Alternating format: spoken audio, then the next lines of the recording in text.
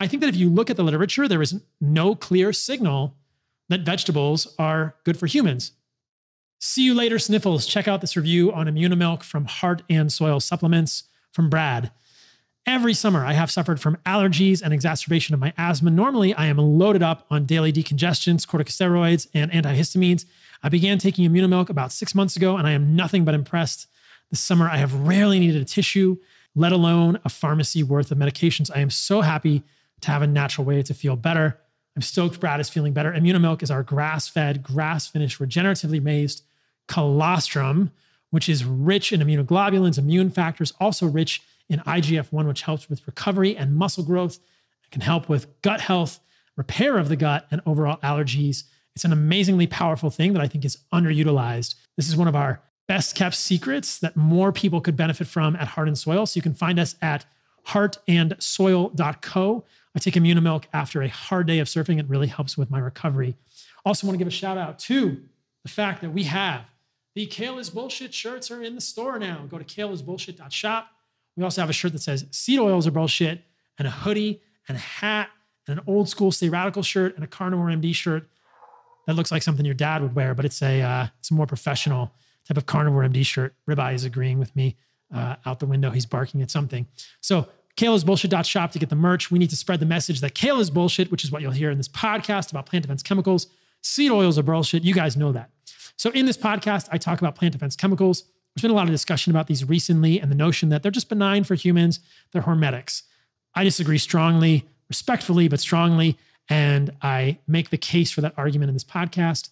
I think you'll enjoy it. I talk about whether they're real, where they're found, different types. I talk about anthropology, the fact that Hadza don't give a shit about vegetables, and all kinds of good stuff. I really think that this podcast will be valuable for you. If you have questions about plant defense chemicals, you want to know why the heck you should stop eating vegetables, listen to this podcast. Plant defense chemicals are they real? Are they a problem for you? Are they a problem for other humans? This is what I want to talk about in today's podcast. There's been some recent discussion about plant defense chemicals. Some people don't think that they're real. Some people think that they're entirely good for humans. This is the hormesis effect that I've talked about many times, and why I don't think that's always the case for humans, that these are hormetic stressors. So, in this podcast, I'm going to talk about what plant defense chemicals are, why plants have defense chemicals, why I believe they are harmful for many people, and whether or not you should be aware of plant defense chemicals. And I'm hopefully going to be able to add a little bit more of a comprehensive framework regarding these molecules in human nutrition. This is not to say that plants don't produce compounds that have physiologic actions within human biochemistry. That is something we know. We know that plants produce chemicals that can affect human physiology. Many of those compounds are used within Western medicine to affect disease states with acknowledgement of the side effects, things like acetylsalicylic acid, which is aspirin, derived from the bark of a willow tree, or at least a precursor of acetylsalicylic acid is derived from the bark of a willow tree. Digitalis is often used in cardiology settings, known as digoxin, from a species of plants called the foxgloves. So, interestingly, within Western medicine, when we use a compound derived from plants, we are always aware of the side effects. All doctors know that aspirin can cause erosions or ulcers in the stomach because of the way it affects prostaglandins and the gastric mucosa. All doctors know that if you give too much digitalis, you can kill someone because it will affect sodium and potassium balance in a certain way within the human physiology. What's interesting to me is that within the food sphere of thinking, people don't really pay attention or don't acknowledge that similar plant compounds, chemicals from plants, have side effects that we often ignore. It seems to me that most nutritional pundits only want to focus on the benefits of these plant compounds. And I'm not saying that the plant compounds don't affect human physiology in some ways, perhaps positively, but we must not ignore the attendant side effects of these compounds. And I think that we all have to make a decision whereby we weigh the benefits and the risks of these plant compounds if we choose to include them in our diets. And if we want to really deeply or fully believe that these plant compounds are a net benefit for humans. I would argue that in many ways and in many situations, I don't think there's any net benefit from these plant compounds. And I think they are a net negative for humans. This is something I talked about previously. I wrote about it in my first book, The Carnivore Code. Many things in that book I still think are true and I would agree with. There are some things in that book that I've talked about previously that I've evolved my perspective on fructose, insulin resistance. I think I've had more deepened discussions of that recently, uh, et cetera. So that's a topic for a separate podcast. But what are plant defense chemicals? Well, before we answer that question, let's talk about life as a plant. Imagine yourself rooted in the ground and imagine all sorts of insects and humans, perhaps in the last couple hundred thousand years, or pre hominids, or primates, or other animals, herbivorous or omnivorous animals that eat plants wanting to come and consume you, you are rooted in the ground. You must evolve some sort of defense chemicals if you truly wish to survive or participate in this arms race, quote unquote, as it were, between animals and plants. Animals and plants have co evolved for 450 million years. So, way, way before pre hominids, way before primates, other animals and plants were coexistent on this planet. The separation of plant and animal lineages occurred the separation of plant and animal lineages occurred 400 to 450 million years ago. So animals and plants have been at war, as it were, for hundreds of millions of years.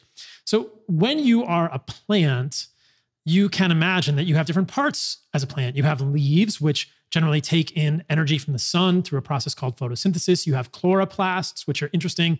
Most of us learned about chloroplasts in high school biology. They're able to take energy from the sun turn it into glucose, which can be used as fuel for the plant. That's a pretty handy trick.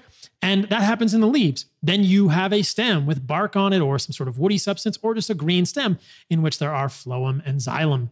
Those were the bane of my existence in college because I can never remember which one goes up and which one goes down. It's not important for this conversation, but there are essentially arteries and veins in a plant that move to and from the roots of a plant. And in the roots, you may store glucose or other carbohydrates. Um, and the roots move out into the soil to collect nutrients, to have symbiotic relationships with fungi and bacteria in the soil, and to interact with the broader environment that the plant is in. Now, what is the point of being a plant? The point of being a plant is to move your DNA to the next generation. That's the point of most life on this planet. Life as we know it on this planet is generally DNA based. There are some viruses that are RNA based, but people debate whether viruses are actually alive. So most life forms on this planet use DNA to move their genetic information to the next generation. Where do plants put their genetic information? They put it in their seeds. But most plants don't just have a naked seed that they throw out into the world. Some plants essentially do that. Dandelions have seeds that are on a little bit of a, a wispy substance, like a parachute that moves them away from the parent plant. Parents cast their offspring further afield plants want to move, they want to spread their offspring. They don't just want their offspring growing right below them. So plants move their seeds away from them. Some plants use whirlybirds, like uh, deciduous trees on the East Coast, but many plants will put their seeds in some sort of a fruit. So the fruit is interesting, and we'll talk about that later in the podcast. But we have different parts of a plant, and this is where we cross into the actual consumption of those plants. What we think of canonically as vegetables are generally the leaves, the stems, the seeds, which can be seeds, nuts, grains, and beans, and the roots of plants. And vegetable is just sort of a colloquial word, but those are the vegetable parts of plants. And then there is the fruit, which is where the plant encases its seeds in something that is colorful and sweet. So I asked a friend recently, and I said, Here's a riddle. What part do plants want you to eat? She didn't know the answer to that. She answered twice incorrectly. Um, but many of you will know intuitively that plants want you to eat the fruit. That is why it is sweet. That is why it is colorful. And that is why fruit changes color as it becomes ripe. Plants don't want you to eat unripe fruit because the seeds within that fruit are not ready to be moved to the next generation. But once the seed is ready to move, the fruit around it becomes ripe. It becomes either fragrant or red or yellow or orange, often from a previously green color. You can think about the way that avocados go from being green to being dark brown once they're ripe. Avocados are a fruit, yes. Uh, tomatoes, cherries, these all change in color. Oranges, bananas, papayas go from green to orange yellow when they become ripe. Fruit changes color as it ripens because many of the animals that would consume it have color vision and can sense that. If you've ever been hiking in the Pacific Northwest in the summer, you know that your eyes are drawn to a colorful berry in a particular way because there's mostly green in your field of vision. And then you see a colorful thing, maybe it's a salmonberry or a raspberry or a blueberry or a blackberry, that may signal that it is some sort of food for a human. And within that fruit are the seeds that the plant is hoping to move to the next generation. But the intention of plants is very clear here. They don't want us to eat the leaves, the stems, the roots, or the seeds. They don't want us to crunch and chew up the seeds because that would subvert the plant's efforts to move those seeds to the next generation. So, all of this is just painting this sort of zoological picture of the way that we as humans, omnivorous humans that I believe are animal based, live within the world and interact with the plants around us. Many of us don't think about this because we just go to the grocery store to get food. There's an aisle of plants and it says vegetables and it says vegetables are good for you. So we eat vegetables. Mom told you vegetables were good for you. Grandma told you vegetables were good for you, probably because they're good for you relative to junk food like cakes, cookies, candies, sodas, or popcorn. But the question that remains for many people, and what I got interested in many years ago with the beginning of my foray into the carnivore world was are vegetables good for all people? Are vegetables really good for humans?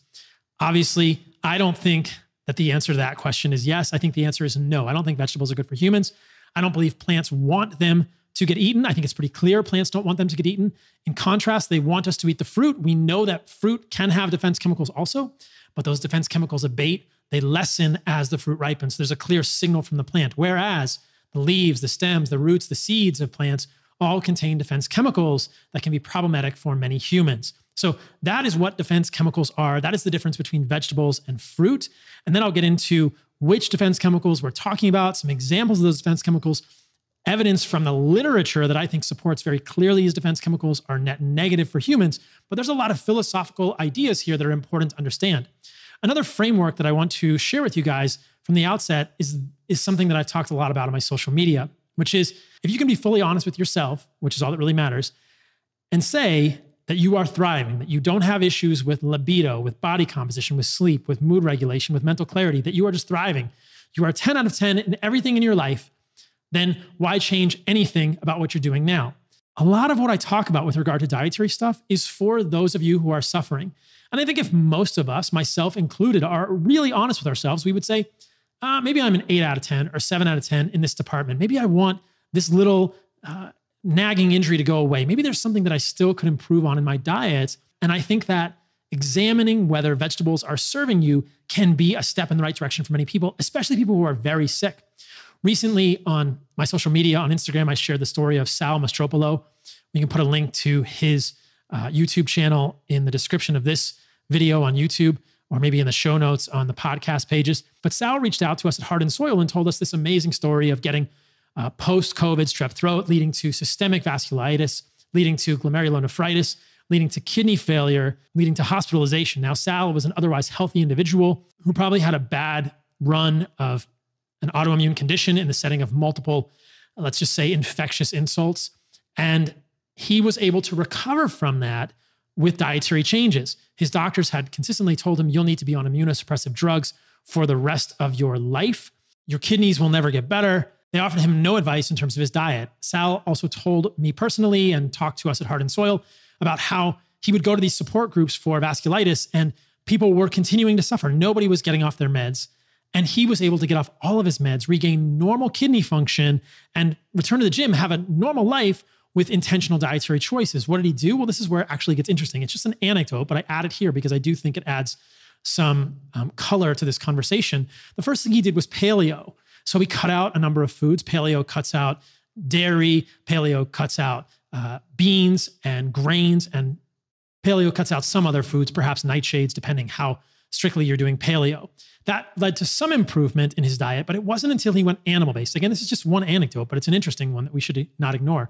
When he went animal based and he added organs from Heart and Soil and fresh organs, meat and fruit and honey, and he added back some raw dairy, then he was fully able to reverse his symptoms. And what's very interesting about his anecdote was that it wasn't for Sal until he cut out all the vegetables that his autoimmune symptoms completely resolved. So, this is why I do this work. That I believe there are many people like that who are struggling with autoimmune disease, with something that is not getting better in their life. And I think that eliminating vegetables and focusing on the most nutrient rich, most sought after, least toxic foods for humans can lead to improved quality of life for many people. But wrapped up in that whole discussion is whether or not we are losing something by getting rid of these vegetables in our diet, or whether people who are otherwise thriving should eliminate vegetables. Like I said, if you're thriving, I don't see a reason to eliminate vegetables, but I think that many of you may not know how good you could be until you fully eliminate the vegetables from your diet. So, with all of that as framework, let's move on to the next step of this discussion. So, I mentioned the idea of animal and plant warfare a couple of times in the introduction to this podcast. And I wanted to share this paper to start. The title is Animal Plant Warfare and Secondary Metabolite Evolution. Um, in recent years, the concept of animal plant warfare emerged, which focused on the coevolution between plants and herbivores. That's what I talked about earlier. As a reaction to herbivory, plants developed mechanical defenses such as thorns and hard shells, which paved the way for adapted animal physiques.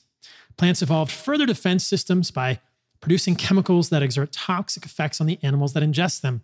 As a result of this selective pressure, animals developed a special enzymes, e.g., the cytochrome P450, monooxygenases, also known as the CYP450 system, that metabolizes xenobiotic phytochemicals. As a next step in the evolutionary competition between plants and animals, plants evolved to produce non toxic prodrugs which then become toxic only after ingestion by animals through metabolization by enzymes such as CYP450.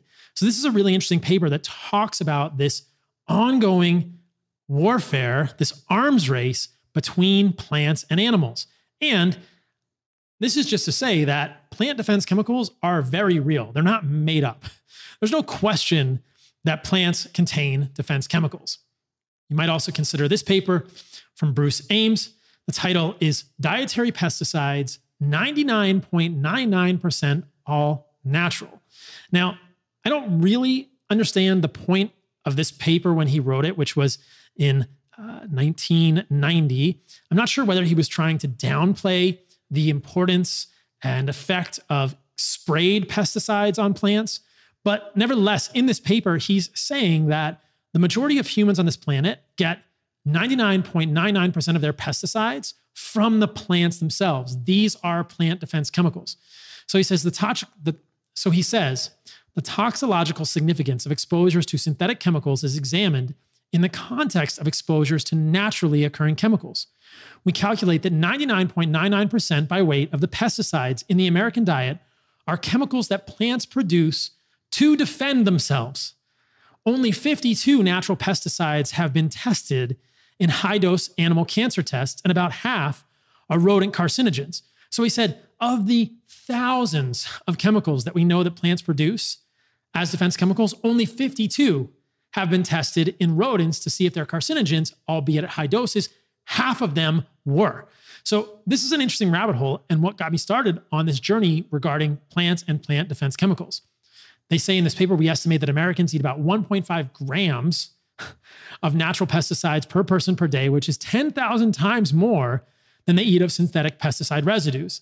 Now, I certainly believe that synthetic pesticide residues are a problem for humans. I did a previous podcast on glyphosate and all of the pesticides that come with it, how they can be worse in conjunction with each other, and how there are things that the glyphosate is often suspended in, which can be problematic for humans. You can refer back to that one. But you can see here from this paper, if you're watching the video on YouTube, Table one is 49 natural pesticides and metabolites found in cabbage. These all have very long names. I won't read them all. They fall into categories like glucosinolates, indole glucosinolates, isothiocyanates, and goitrin. I'll talk about those later in the podcast. Cyanides, yes, that is the molecule. Cyanide, which is toxic to humans. Terpenes, phenols. They mention below this chart in the explanation Allyl isothiocyanates induced papillomas of the bladder in male rats. A neoplasm that is unusually rare in control rats was classified by the National Toxicology Program as carcinogenic. Allyl isothiocyanate occurs in cabbage. So that's just one of these compounds. And the point of this is just to say that there are many plant defense chemicals, very few of which have been tested in animal studies. And we don't really know about humans. There are some studies in humans that I can reference in this podcast looking at cell culture and looking at a process called clastogenesis, whereby these chemicals may break DNA in cell culture. Whether that translates into real life for humans is unknown. Many of these things are difficult to study, but uh, there have been some small forays into actually studying these compounds, but a lot of them are unknown. As you can see in this table, there's a compound called estragole, which is found in basil and fennel.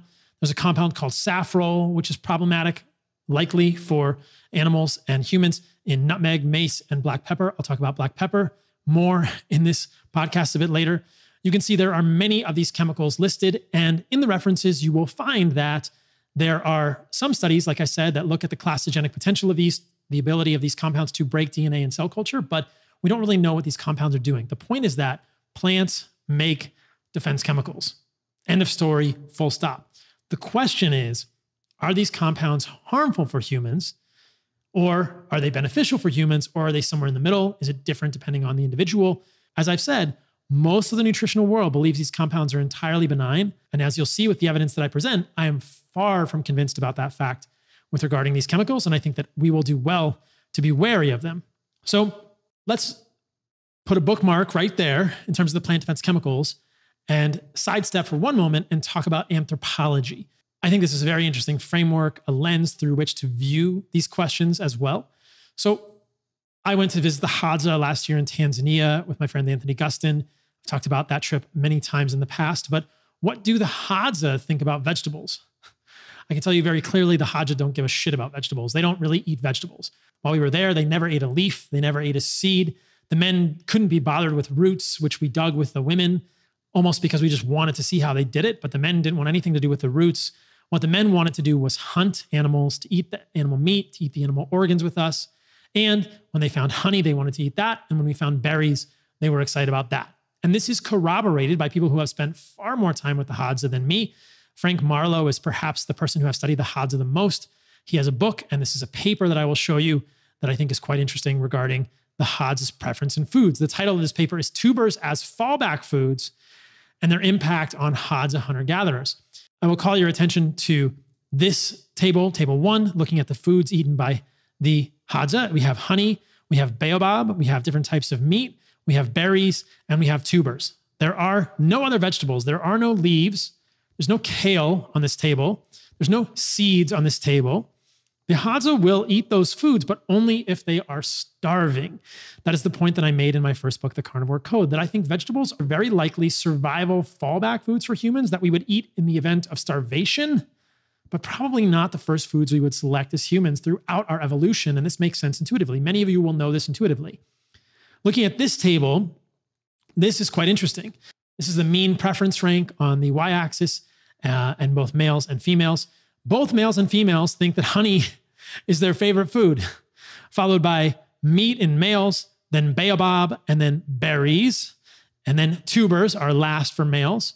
Females rank berries, baobab, and meat about the same, but both sexes say tubers are a distant fifth in terms of their foods. Again, there are no other vegetables other than tubers on this list. There are no leaves, there are no salads, there are no seeds, nuts, or grains on this list. The Hadza eat baobab, and I ate baobab with them, but they don't eat the seed. They might eat the seed if they're starving, but they threw the seed away. So, this is quite interesting to me that within hunter gatherer groups, there is a clear preference for meat and organs. That is very clear. Beyond that, honey, berries, other fruit like baobab, which is what the Hadza have in Tanzania, and then distant, we might find tubers as a fallback food. And as a fallback, fallback food, we might find vegetables. So the notion advanced by so many in the nutritional community that hunter gatherers were eating lots of vegetables just doesn't hold up to scrutiny and it doesn't make sense to us intuitively. In Costa Rica, where I live, there's a river below my house. And if I go down to the river and just spend time at the river, and I think, what would I eat if I lived here? If I were a hunter gatherer. Of course, it's a contrived notion, but I think it's an interesting thought experiment. There's nothing to eat down there other than a seasonal fruit, maybe an animal if I can catch it. If I can find a beehive, I'll get some honey. I'm not going to go eating bitter leaves if I can hunt something that has more nutritional value, more calories, and more payoff to me in the end. I might eat some leaves if I know which ones are not absolutely going to kill me if I'm totally starving, but are they going to be my first choice? No. So, why is it that when you walk into any grocery store, the thing that's going to hit you in the face, depending on the grocery store you go into, let's say Whole Foods, is antioxidants, kale, spinach, vegetables are the best thing. Eat more vegetables if you want to thrive. You should be fiber fueled. Eat more vegetables. Eat more vegetables. It makes absolutely no sense. Again, if you're thriving, why change anything about your diet? But how many of you can honestly say that you're thriving and you don't want to improve, you don't need to improve anything in your diet, I'll leave that for you guys to answer. I think many of us, many of our families, many of our children would be better without these foods. And just this as an aside, how many conversations that turn into crying fits at the dinner table could be avoided if you stopped forcing your kids to eat vegetables? Why do you think your kids hate vegetables? They're not excited about them because they don't, they're not good for them. Yes, vegetables are better than Snickers. Vegetables are not better than meat and organs, either fresh or desiccated, like we make it Heart and Soil, fruit, honey, and raw dairy. No chance. So in 2022, if you are a successful hunter gatherer, what signal would you give your body? You would give your body the foods that it seeks most, that it craves most, that your ancestors have always sought. And I believe that is the list of foods that comprise an animal based diet. Then you're sending more of a signal of abundance to your body. Eat a bunch of vegetables, you're sending a signal of scarcity to your body. And future conversations about linoleic acid will corroborate that as well. We know that many hibernating animals, at least cold weather hibernating animals, increase the amount of linoleic acid in their diet when they want to become fat and hibernate. I think that there is this idea in the natural world that for some animals, linoleic acid is a signal for hibernation, for winter, for fattening, for scarcity. I think vegetables are also a signal for scarcity for many animals and potentially humans. They're just simply not the most palatable, tasty, enjoyable, bioavailable, nutrient containing foods. And they have all these defense chemicals, which we cannot ignore. If you don't believe me, I'll just start with one paper looking at hot spices and how they affect the leakiness of your gut. The title of this study is Hot Spices Influence the Permeability of the Human Intestinal Epithelial Monolayers. And they say that tight junctions exhibited a discontinuous pattern when extracts from paprika and cayenne pepper were added to them. They assayed the leakiness of the human gut with a anti-zonulin 1 antibody and trans-epithelial electrical resistance. So this is a cell culture study, and when the TER goes down, the permeability of these cell layers goes up. And what did they find? When they added paprika or cayenne pepper, the epithelial monolayer of the human gut in cell culture became more leaky, and there was more activity of this anti-zonulin 1 antibody. You can see here the observation that Solanaceae spices, paprika, cayenne pepper, increase permeability for ions and macromolecules might be of pathophysiological importance, particularly with respect to food allergy and intolerance. So, what do we have here? We have at least just the first suggestion that plants have defense molecules and that not all of these plants are good for you. Cayenne pepper is from a ground up nightshade plant. Paprika, the same. These are nightshades, which tend to have lectins, which are damaging to the human gut. I'll show some evidence of that later. But hot spices do appear to open the gap junctions, the tight junctions of your intestinal epithelial monolayers. That's not a good thing. That's probably why it hurts when you poop in your rectum after you eat hot spices. So, not all of these plant chemicals are good for humans, and opening the gap junctions, opening the tight junctions of the human gut is not a good thing. It can cause, it does cause leaky gut. It causes what we think of colloquially as leaky gut. It causes probably autoimmunity immunologic activation, inflammation, all sorts of problems that originate in the gut probably have to do with that damage or that opening of the tight junction in the human gut. But, Paul, you say, there are so many studies showing the benefits of vegetables in the human diet. Oh, yeah? Show me. Because the best meta analysis that I can find of vegetables is this one the effects of fruit and vegetable consumption on the inflammatory biomarkers and immune cell populations, a systematic literature review and meta analysis. Now, notice they say fruit and vegetable consumption. So I will walk you through all of these studies. This is going to be a little bit hard to read, but there are many studies they reviewed here, and they're all right here. All the references will be there. All of them are summarized here. Now, the first set of studies are all about fruit. I started this journey as a carnivore and didn't think that fruit was good for humans. That opinion, that idea changed when I added carbohydrates back to my diet. And now it makes sense to me that fruit is something that we would seek as humans that would be less toxic for us, less full of problematic chemicals. We know that fruit has less defense chemicals as it ripens. So, studies looking at fruit extracts and human health are not what I'm interested in. What we are interested in, this discussion is vegetables and their effect on human health. And we must note that epidemiology, observational literature here, is going to be heavily confounded by healthy user bias in the situation. So I'm not terribly convinced by an observational study that says that if you eat more vegetables, that's associated with better health outcome, because those people are likely to do other good health behaviors. What I want to see are interventional studies with vegetables that result in good health outcomes for humans. Those are not very large in number. So, all of you out there saying there are tons of studies showing that vegetables are good for humans, um, I would ask you to share them with me because there's not a ton out there, actually. When I went on the doctors, they certainly railroaded me. Travis Stork said, There are thousands of studies. Where? Where, Travis Stork? So let's look at this paper and try and be balanced here.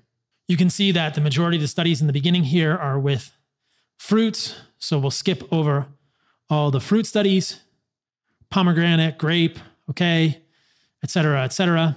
Orange juice, raisins, tomato juice. Here's one one garlic tablet equal to 400 milligrams of garlic and one milligram of allicin decreased serum levels of HSCRP. Okay, fair enough. There's a positive trial for garlic, at least in decreasing HSCRP. Does garlic have other issues that I'm worried about? Yes, I can get to those later. Here's a broccoli diet, 250 grams per day. It decreased plasma CRP. TNF alpha didn't change. IL 6 didn't change. IL 6 receptor didn't change. And adiponectin didn't change. So multiple inflammatory markers did not change. CRP went down somewhat with a broccoli diet. Okay. And granted, this meta analysis left out multiple studies that I'll show in a moment that show there were no positive effects from adding vegetables to the diet. Here's tomato juice. That's a fruit. We'll skip that one. Here's a fruit juice uh, supplement. Here's one greater than five portions of fruit and vegetables per day, or less than two portions of fruit and vegetables per day for 12 weeks. No changes in any biomarkers. Okay, so you're telling me vegetables are unanimously good for humans or clearly good for humans? Not necessarily. Here's a six week diet containing either 810 or 196 grams of vegetables, berries, and apples per day, rich in either linoleic acid or oleic acid. And that's a lot of variables, but all that increased vegetables had no change in plasma levels of ICAM or HSCRP. ICAM is an adhesion molecule. One, three, or six portions of fruit and vegetables per day for eight weeks. No changes in levels of HSCRP, DCAM, or VCAM. Again, those are adhesion molecules. So here's an interesting study extensive dietary and behavioral counseling to achieve dietary goals of 20% total energy from fat, 18 grams per 1,000 kcals of dietary fiber, five to eight servings, depending on total caloric intake of fruit and vegetables, or the control diet uh, in the control groups for four years. Decreased serum IL 6 concentrations. Well, yeah, they had a lot of behavioral counseling. How do we know any of that was related to vegetables? You get the idea here. You guys can look at all these studies yourselves, but there is actually an underwhelming amount. You can look at the effects here on the right hand side. Uh, no changes in any inflammatory biomarkers, no changes in any, any inflammatory biomarkers. Some of them even increase inflammatory biomarkers. So, looking at the entirety of the evidence, it's it's pretty clear that some of the fruit interventions are beneficial. I don't think it's very clear that an exclusively vegetable intervention, many of these are mixed, but even the combined interventions are entirely or always beneficial for humans. So, again, I put the reference for the study. It's a meta analysis looking at all of the studies that were known at the time of the meta analysis. I think it was fairly recent. And I think that if you look at this, you'll see that, yeah, the fruit studies have some benefits. The vegetable studies don't always help. Some of the vegetable studies show no benefits at all, and I'll show you some of those. So, where exactly is the experimental evidence that is so overwhelming that vegetables are good for humans? I just, I don't see it that there may be a trial here or a trial there, and we can match that with another trial that shows there's no benefits. So I think that if you look at the literature, there is no clear signal that vegetables are good for humans. If you guys don't agree with that, I'm open to comments and future debates. I've done them in the past with people, but I think that this is an interesting thing to really look at the literature somewhat objectively regarding. So I'll show you guys a few studies looking more in detail at the absence of benefits for these plant foods. They're often mixed fruit and vegetable interventions for humans. No effect 600 grams fruit and vegetables per day on oxidative DNA damage and repair in healthy non smokers. The title kind of says it all. The randomized into three groups antioxidant free basal diet, 600 grams of fruit and vegetables, or a supplement containing the corresponding amounts of vitamins and minerals, or a placebo, blood and urine samples. This is a four week study. The level of strand breaks and the nuclease 3 sites, formamidopyrimidine sites, sensitivity to hydrogen peroxide. They're basically assessing many metrics looking at oxidative stress. And they say our results show that after 24 days of complete depletion of fruits and vegetables, or daily ingestion of 600 grams of fruits and vegetables, or the corresponding amount of vitamins and minerals, the level of oxidative DNA damage was unchanged. Okay, this suggests that the inherent antioxidant defense mechanisms of the human body are sufficient to protect circulating mononuclear blood cells from reactive oxygen species. That's a really interesting study that gets often ignored by those who think vegetables are the best thing since sliced bread. Again, there are multiple studies like this. It's not worth going through all of them. One more increasing vegetable intake dose is associated with a rise in plasma carotenoids without modifying oxidative stress or inflammation. In overweight or obese postmenopausal women, the title kind of says it all. So, that is the state of the evidence, I believe, that if you look at interventional studies, many of them combine fruits and vegetables. The ones that are just using vegetables don't always show a benefit. Many of the studies combining fruits and vegetables don't show a benefit. There are multiple studies with fruit and fruit extracts that look to have some benefit. And I don't think fruit is bad for humans at all. It's something I've talked about multiple times recently. So, where is the evidence that vegetables are so good for humans? I don't see it. The other side of the argument, to be fair, would be where is the evidence that vegetables are bad for humans? This is a tricky thing to do in population studies because there haven't been observational studies that eliminate vegetables. So all of the groups in observational studies are still eating vegetables. Why would we see a signal that vegetables are harming humans? One of my friends recently said if vegetables are trying to kill humans, they're doing a really poor job of it. I actually respectfully disagree with him. I think that many people have very overt manifestations of issues with vegetables that are just seen more at an individual level that a physician treating patients will see, uh, that are case studies, that are anecdotes, that are N of thousands now in the carnivore and animal based communities. Anecdotes like Sal's, many other people, myself with eczema. My eczema, as many of you will know, resolved when I cut out vegetables from my diet, comes back when I reintroduce some vegetables, things like chocolate will trigger my eczema, etc. So there are many anecdotes, many case studies of humans who have negative reactions to vegetables. A population based study has never been done looking at people who eat less vegetables and more vegetables to actually have a signal strong enough for us to see. So we've never looked for this because throughout our time as humans in the nutritional space doing science, we've always believed that vegetables were good for us. And again, vegetables are better for you than junk food. I just want to make the point that I think vegetables are the fallback of all fallback foods for humans. And many of you would be much better by replacing vegetables in your diet with things like meat and organs, fruit, honey, raw dairy. That's the point that I'm making. So, if you are curious about the hormesis issue, I've done a whole separate video on YouTube called Sauna versus Broccoli. There's a link in the show notes on the podcast if you want to know why I don't think the hormetic benefits of vegetables are actually proven to be net positive for humans. The short answer there is that we must not ignore the side effects.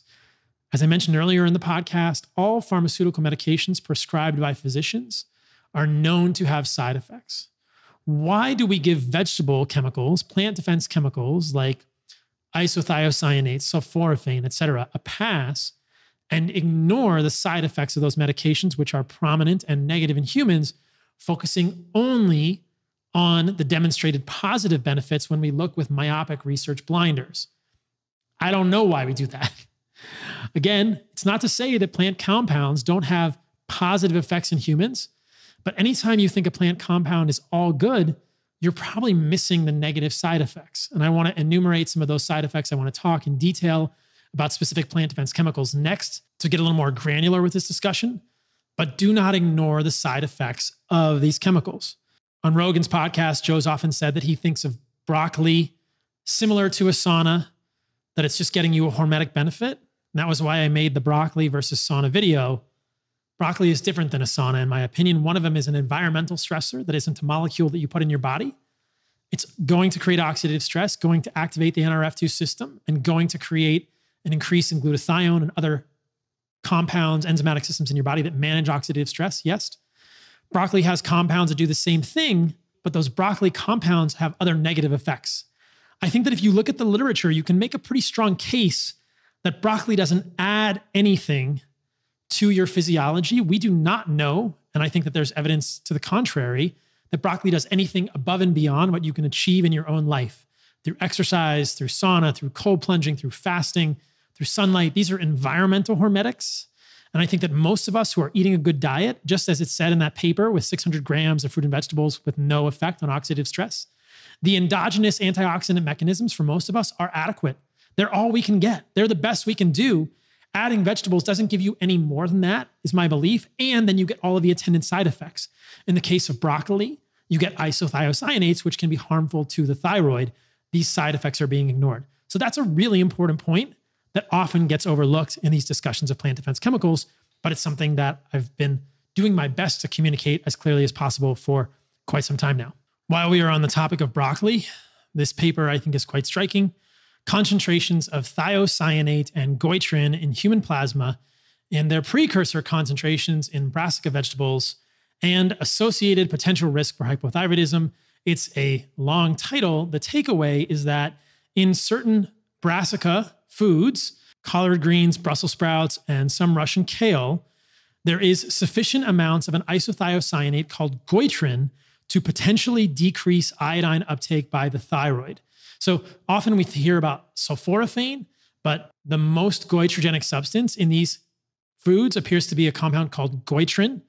Goiter is the enlargement of the thyroid gland that happens when we become hypothyroid due to inadequate amounts of iodine in the human diet or these compounds in plants robbing us of the ability to absorb these things. But this paper is suggesting that in amounts commonly consumed by humans, there is sufficient amount of goitrin to significantly affect the iodine uptake at the level of the thyroid. Why would you eat something with that potential if you're not getting any net benefit, if you're not getting any benefit that you can't get by living your life in other ways? This is my argument about vegetables and about plant defense chemicals.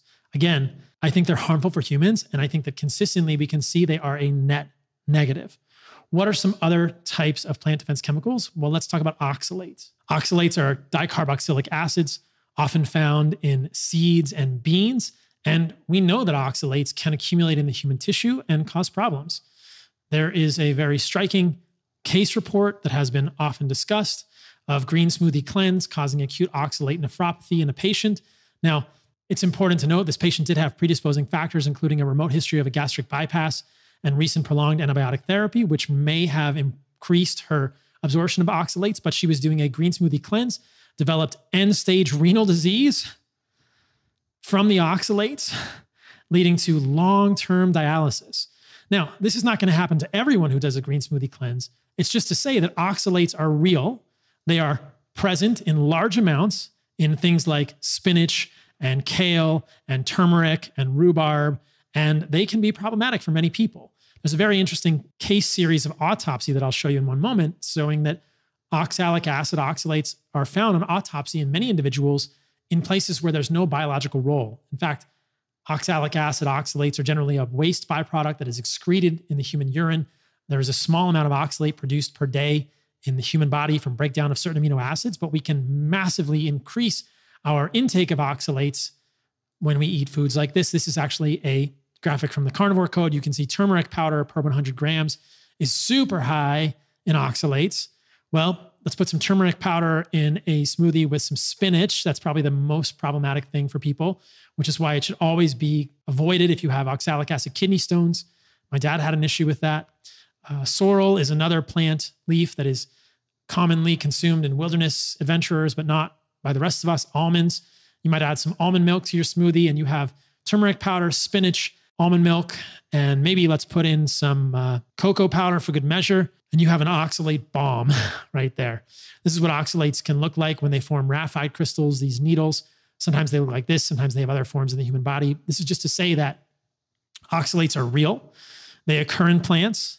There is no known benefit of consuming them in your diet. And in fact, they probably inhibit the absorption of other minerals and nutrients in your diet. So, this is the autopsy study calcium oxalate crystals in the thyroid. It says they're not encountered in normal animal tissues, except for the human thyroid, where they were found in 79 of 100 routine consecutive autopsies. They appear during childhood. The numbers of the crystals increase with age and diffuse hyperplasia prevalence of higher Prevalence was higher, but crystals were fewer than expected.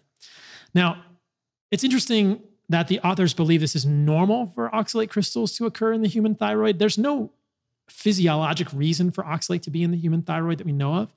And I think this is probably just an accumulation of oxalates in the thyroid because we consume them commonly in childhood leading to adulthood and they increase with age. So I don't know that it's necessarily normal for oxalates to be in the thyroid. Interestingly, they do note in this paper that people with Hashimoto's thyroiditis had less of the oxalate crystals, possibly due to an autoimmune reaction clearing the thyroid crystals out. Perhaps there's some connection between oxalate crystals in the thyroid and Hashimoto's. We don't fully know, but there's no reason for oxalate crystals to be in the human thyroid. And I think this is a clear indication that they do accumulate in humans.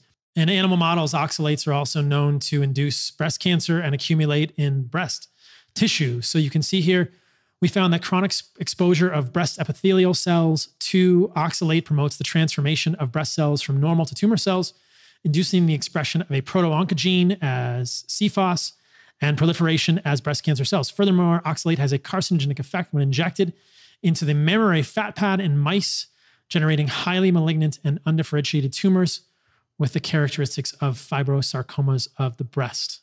And this is something that we are told is not a big deal for humans. Do we really feel safe saying that? You should eat a spinach salad every day. This is what I used to do when I was younger. I would just eat spinach straight out of the bag. I thought it was good for me. Why are we eating spinach? I just I cringe whenever I see anybody at the grocery store eating spinach now, thinking there's much better ways to get all the nutrients that you think are so valuable in that spinach, animal foods, liver, organs, without all those oxalates. So just one piece of the puzzle here with regard to the plant defense chemicals. More broadly speaking, polyphenolic compounds from plants, many of which are plant defense chemicals, are known to inhibit digestive enzymes. This is the intention of plants with these defense chemicals. This is how plants do animal and plant warfare. Plants don't want to get eaten. They are discouraging you from eating them. They are inhibiting your absorption of nutrients so that you will not thrive as much and you will avoid that plant the next time you come back to it. This paper is talking about the inhibition of digestive enzymes by polyphenolic compounds. They say the ability of polyphenolic compounds to form insoluble complexes with other macromolecules, such as proteins, has long been associated with the observed reduction in nutritive value resulting from their inclusion in animal diets. Okay.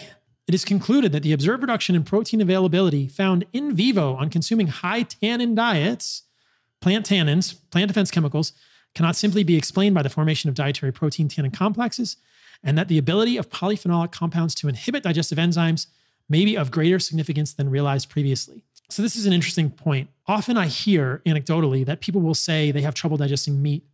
And I ask people what they are eating it with and if they are eating the meat with vegetables.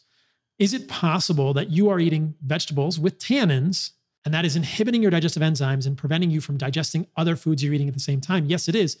This is the deep, dark, interesting rabbit hole of plant defense chemicals that very few are willing to look at. But there's a good amount of data to suggest that these are actually negatively affecting human health. I spoke about cayenne pepper and paprika earlier in the podcast and their ability to open tight junctions in the gut. This is a very interesting abstract from the American Journal of Gastroenterology from 1987. The title is The Effect of Red and Black Pepper on the Stomach.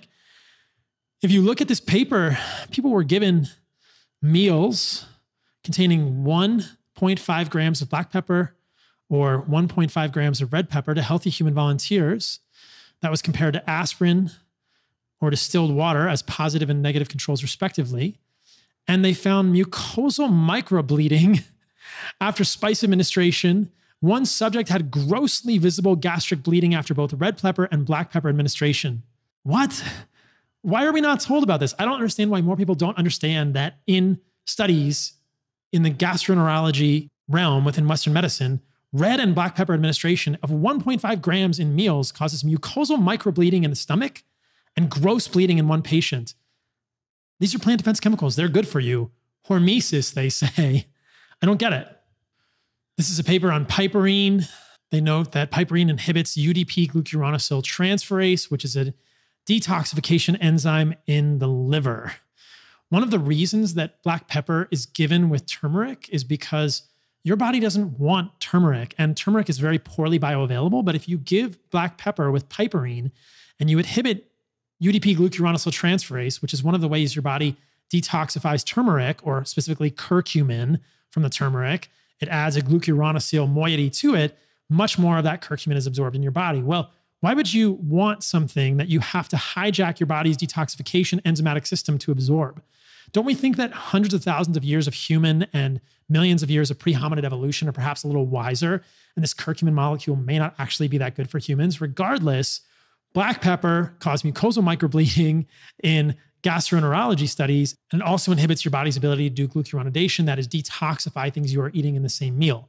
Black pepper is a seed, that is a plant defense chemical along with safrole and other plant defense chemicals in black pepper that I talked about earlier in this podcast. One of the more problematic compounds that is a plant defense chemical that I've talked about a lot is phytic acid. Now, others in the nutritional community have said that phytic acid is degraded when you cook it, which is not entirely true. Only 50 to 60% of phytic acid is degraded with cooking, and much of it survives.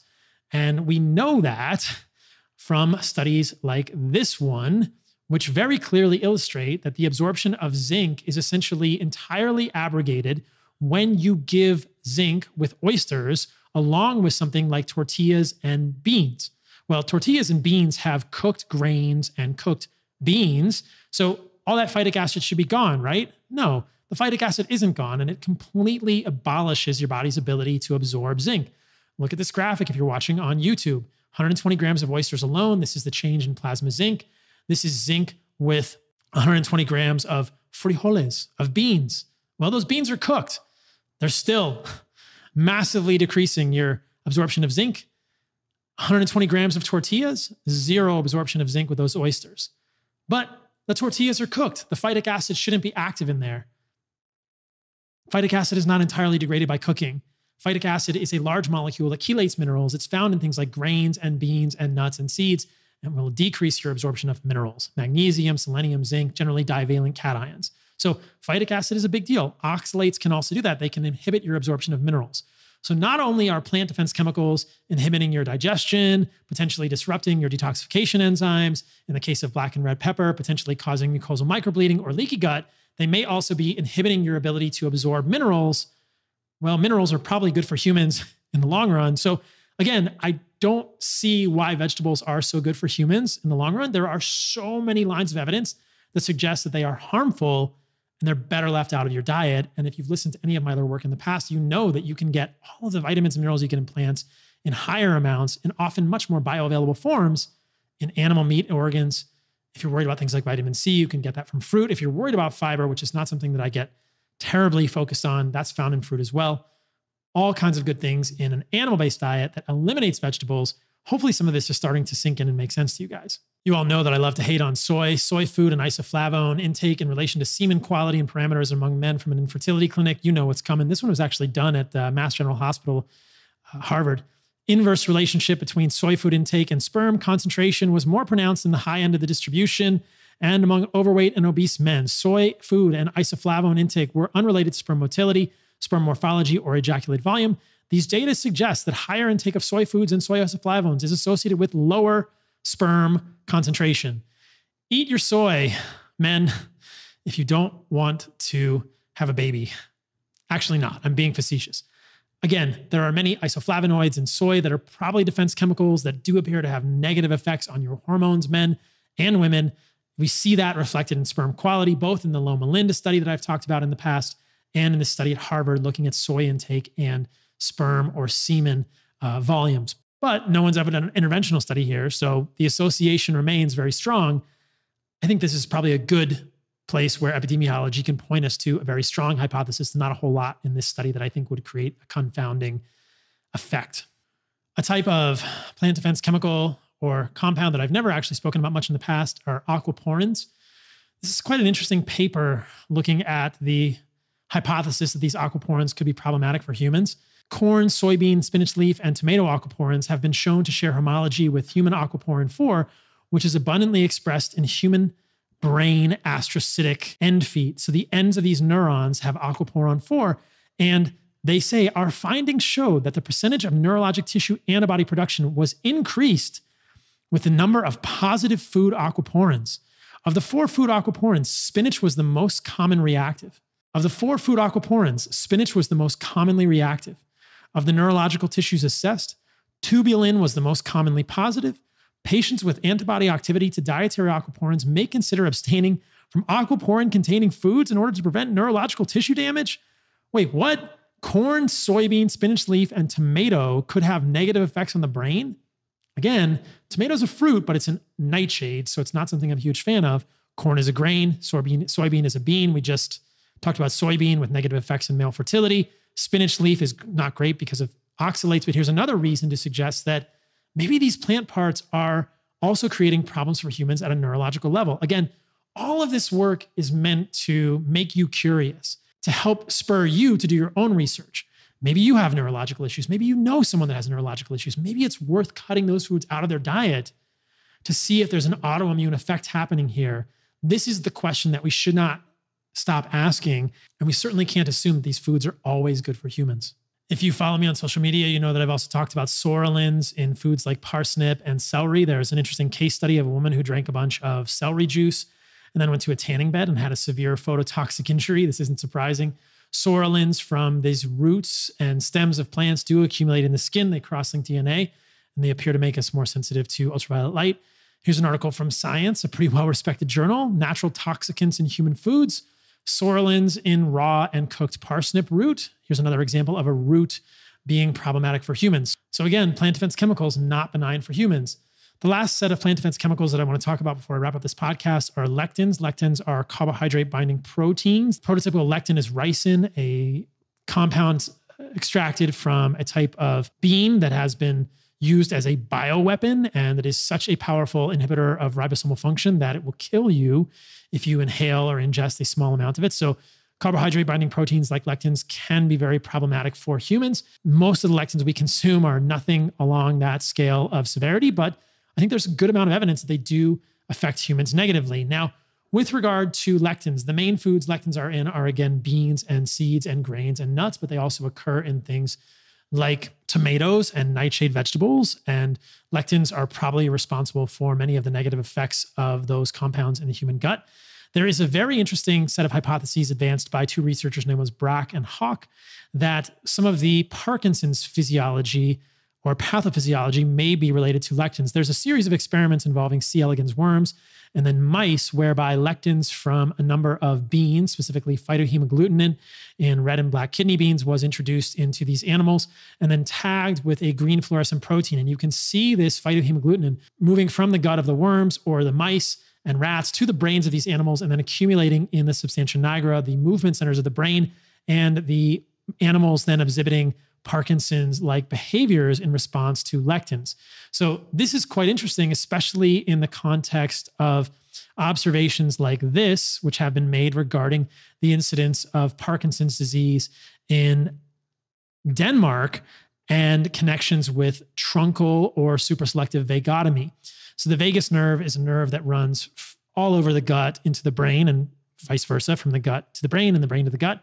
And in patients who have bad issues with ulcers in the stomach, sometimes that vagus nerve was cut from the stomach to the brain, severing the both anterograde and retrograde, both directions of communication between the vagus nerve and the gut. And this is just an observation, but it does create a striking hypothesis along with the experiments looking at these C. elegans and mice and these lectins and how they may move from the gut to the brain, accumulate in movement centers, and cause problems for humans. The hypothesis being that is it possible that the reason people who have full truncal vagotomy, as they say in the study, have a decreased risk of Parkinson's disease, being that something in our diets, perhaps a lectin in foods that many of us think are healthy, is moving in a retrograde fashion from the gut to the brain and accumulating in the brain of people with Parkinson's disease, potentially causing problems? It's a very interesting hypothesis. It's a very scary hypothesis, but this is the reason that we need to ask these questions regarding plant defense chemicals and really be honest about how benign they really are. With regard to lectins, we also know very clearly that potatoes, something many of you love, potato lectin activates basophils and mast cells of atopic subjects by its interaction with a core chitobiose and cell bound nonspecific immunoglobulin E. So, Uh, this Solanum tuberosum agglutinin, this is the STA lectin from potatoes, was found to release histamine from basophils in vitro and mast cells in vivo from non atopic and atopic subjects. So, is it possible that your eczema, your asthma, your atopic reactions, your allergies are related to potato lectin? It is possible, and perhaps we should not ignore or believe that all these foods are so benign for humans. Here's a study looking at peanut ingestion with their own peanut lectin. Peanut ingestion increases rectal proliferation in individuals with mucosal expression of a peanut lectin receptor. You can see here that peanut ingestion caused a 41% increase in rectal mucosa proliferation in individuals with macroscopically normal mucosa who express the TGF antigen in their rectal mucosa. 10 of 36 patients studied. Common expression of a galactose beta 1 3 N acetyl galactosamine alpha by hyperplastic and neoplastic epithelia may therefore be functionally important because it allows interaction with a mitogenic dietary lectin from peanuts. Is it possible, they say here, that could be an important mechanism for the association between diet and colorectal cancer? The question then being if you're eating a bean, peanuts are a bean, and you have this receptor in your rectum and it binds the lectin, could that induce atypical, abnormal, pathological proliferation of your rectal mucosa lead to rectal cancers? Yet another mechanism by which carbohydrate binding proteins in these foods may be problematic for humans. There's also a good amount of literature from the animal experimental space looking at phytohemagglutinin and other lectins in the guts of rats and mice. And what appears to happen in these guts is overgrowth of the wrong type of bacteria, almost like SIBO, small intestinal bacterial overgrowth, dysbiosis induced by these lectins. The mechanism appears to have something to do with mucin secreting cells in the guts. Perhaps the lectins negatively affect these cells. The mucus concentration is decreased in the gut, and mm, predominantly gram negative anaerobic bacteria are allowed to touch the gut mucosa, leading to inflammation and overgrowth of these bacteria. So, in animal models, lectins also look to be bad regarding gut flora, specifically leading to dysbiosis. So, where have we journeyed in this podcast? We've talked about vegetables and fruits. We've talked about the history of plants and animals and how plants have needed to evolve plant defense chemicals, how there has been an arms race between plants and animals throughout this process, that humans or other animals have evolved CYP450 systems, and plants have evolved protoxins, which are then converted into toxins by the CYP450 system. Then we talked about the anthropology of humans living on the planet in a wild fashion, like the Hadza, how they don't really eat vegetables. Then we looked at multiple different types of plant defense chemicals, and we did a survey of fruit and vegetable studies showing that there are some studies that show fruit is beneficial, some studies that show that fruit and vegetable intervention does nothing for humans, and that there isn't really, in my opinion, perhaps you will disagree with me, a clear evidence in the literature that vegetables are so beneficial for humans. And I think that this calls into question the often repeated truism that vegetables are amazing for humans, that they are hormetic, that these plant defense chemicals are always good for us. We must not ignore this idea that they have side effects. And I think that my hypothesis, what the idea that I would advance, is that plant defense chemicals are problematic for humans. The more you minimize them, the better you are. That's what our hunter gatherer ancestors appear to have done behaviorally, if you find that to be a valuable data point. But there are many examples now of people who have done that and found benefits in their life. If you're thriving, why change anything about your diet? Eat your vegetables if you're thriving, but perhaps you could also be better than you are now and you don't know it. That's a topic for another day of a podcast. But I wanted to do this podcast on plant defense chemicals because I think they're widely misunderstood and people assume they're good for us because we all know vegetables are good for us. There are many different types from lectins to isothiocyanates like goitrin to polyphenols, which may inhibit the digestion of humans, to tannins, which are polyphenolic, problematic for the digestion as well, to nightshades like cayenne pepper or red pepper or black pepper, which cause microbleeding in the stomach, which open tight junctions in the gut, to oxalates, which can accumulate in the thyroid or cause oxalate nephropathy. In the case of the case study with the woman, and maybe they accumulate in other parts of humans, causing problems. We certainly know they cause kidney stones. To phytic acid, which is not entirely denatured by cooking, which can lead to problems with absorption of minerals, as we saw in the zinc study. To lectins, which can cause potentially issues with Parkinson's or other neurologic diseases, similar to perhaps aquaporins from corn, soy, tomatoes, and other plants which have homology, specifically spinach leaf, with human aquaporins, all sorts of plant defense chemicals to be aware of. But the overarching theme remains the same. Plants do not want to be eaten. They're going to defend their leaves, their stems, their roots, and their seeds. Their fruit is going to be much less toxic and is probably the preferred part of plant throughout our history as humans. If you make a lot of your diet vegetables, then I think that can cause problems for many humans. And I think plant defense chemicals are not benign. I do not believe they have a clear hormetic effect in humans. I think that that effect is lost when you look at their negative effects. And if you look at the way that we can do hormesis, perhaps in other ways, sauna, cold, exercise, sunlight, ketosis, fasting, etc., I think there's no real benefit to having the plant compounds in our diet. So hopefully that's helpful and explains what, when, how, why of plant defense chemicals. But the overarching idea is that if you look at the most sought after foods for humans, meat and organs, if you don't like your fresh organs, check us out at Heart and Soil. Get some desiccated organs from grass fed, grass finished cattle in New Zealand. They're the cleanest, the best on the planet. Fruit, the least toxic plant food, honey, raw dairy. These are the foods humans have always sought. I think that if you make your diet those foods, you will thrive. Most of us want to be the best version of ourselves for our family, for our job, for whatever we want to do in the world. And that's what I'm obsessed with, helping humans understand that for most of us, the blueprint is fairly clear. Certain humans are going to react to certain foods differently than other humans. Yes, there's no one exact diet that's going to be ideal for every single human on the planet. But I think that using these themes, we can navigate the often very complex nutritional waters and understand what might be a better diet for us, especially if we are suffering. I know a lot of you are suffering. And if you're not suffering, let us know what you're doing and don't change a thing. So hopefully that's helpful, guys. Till next week.